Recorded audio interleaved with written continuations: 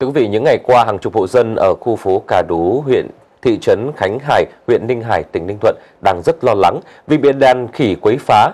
Khỉ không chỉ gây thiệt hại cho hoa màu, bắt gia cầm mà còn tấn công cả người dân. Tại khu vực núi Cà Đú xuất hiện đàn khỉ có hình dáng mặt đỏ, đuôi dài.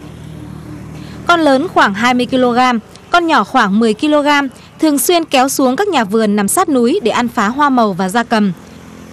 Nghiêm trọng hơn, đàn khỉ còn tấn công cả phụ nữ và trẻ em. Người dân cho biết, đàn khỉ thường xuất hiện vào 3 thời điểm, từ 3 đến 4 giờ sáng, 10 đến 11 giờ trưa và 16 đến 18 giờ chiều.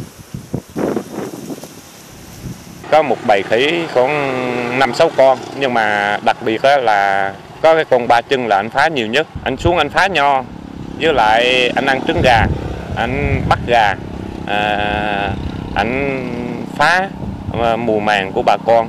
Nhà vườn thì cần có phụ nữ công phụ nữ để cột cành tỉa trái mà ờ, mấy chị em phụ nữ là nghi khi nó tấn công ờ, phụ nữ là không có dám tới làm.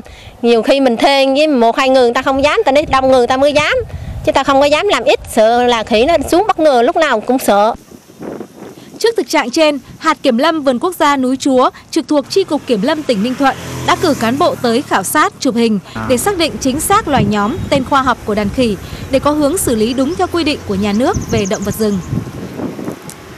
Ở khu phố thì chúng tôi cũng có đến ờ, vận động bà con là coi như là xua đuổi chứ còn không có cái biện pháp nào khác. Vì nó xua đuổi là chính thôi.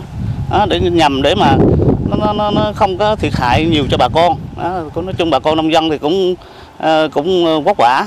Thành ra thì À, tôi cũng vận động bà con là xua đuổi là chính thôi rồi ngồi cái xua đuổi ra thì chúng tôi cũng có báo cáo về thị trấn hoặc là các ngành à, liên quan để mà có cái cách để mà, mà, mà giải quyết Trước mắt, cơ quan chức năng khuyến cáo các hộ dân dùng các biện pháp xua đuổi như dùng kèng, vật phát ra tiếng to khi thấy đàn khỉ kéo xuống để tránh gây thiệt hại thêm hoa màu hoặc đe dọa tính mạng.